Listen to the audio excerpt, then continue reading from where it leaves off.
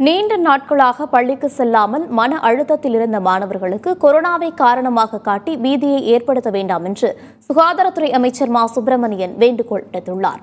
திருப்பூரில் செய்தியாளர்களுக்கு பேட்டியளித்தவர் பள்ளி மாணவர்களுக்கு ஏற்படும் கொரோனா தொற்று குறித்து அச்சப்பட தேவையில்லை என்று தெரிவித்தார். எந்த பாதிப்பும் இல்லை. எனவே பள்ளி மாணவர்களுக்கு தொற்று ஏற்படுகிறது என்கின்ற அந்த தேவையற்ற பீதியினை நாமே ஏற்படுத்தி விடக்கூடாது. ஏனென்றால் கடந்த ஒன்றரை ஆண்டு காலமாக மாணவர்கள் மிகுந்த மன அழுத்தத்தில் உள்ளார்கள். அவர்கள் இப்பொழுதுதான் மகிழ்ச்சியோடு பள்ளிக்கு வருவதை பெருமையாக கருதுகிறார்கள்.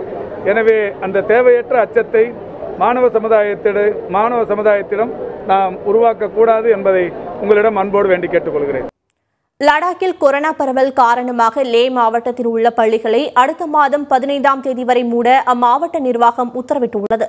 லடாக் யூனியன் பிரதேசம் லே மாவட்டத்தில் கொரோனா பரவல் அதிகரித்து வருகிறது.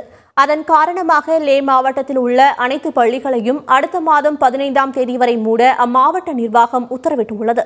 மேலும் பள்ளி விடுதியில் இருந்து வீடு திரும்பும் எல்லா மாணவர்களுக்கும் ஆர்டிபிசிஆர் கொரோனா பரிசோதனை செய்ய வேண்டும் என்று கொரோனா தொற்று இல்லை என்பதும் உறுதியானாலும் ஒரு வாரம் தனிமைப்படுத்தப்பட வேண்டும் எனவும் அறிவுறுத்தியுள்ளது. நிறைய மாநிலங்களத்தில் பார்த்தீங்கன்னா பள்ளிகளை மூட சொல்லி உத்தரவிட்டிருக்காங்க.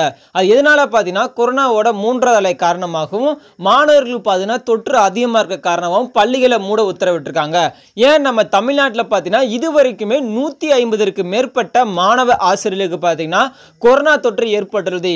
ஏன் இன்னும் பார்த்தீங்கன்னா பள்ளிகளை மூடவில்லை என்று சமூக ஆர்வலர்களும் அதை தொடர்ந்து பார்த்தீங்கன்னா நிறைய பெற்றோர்களும் கேள்வி எழுப்பி கொண்டு வருகின்றனர்.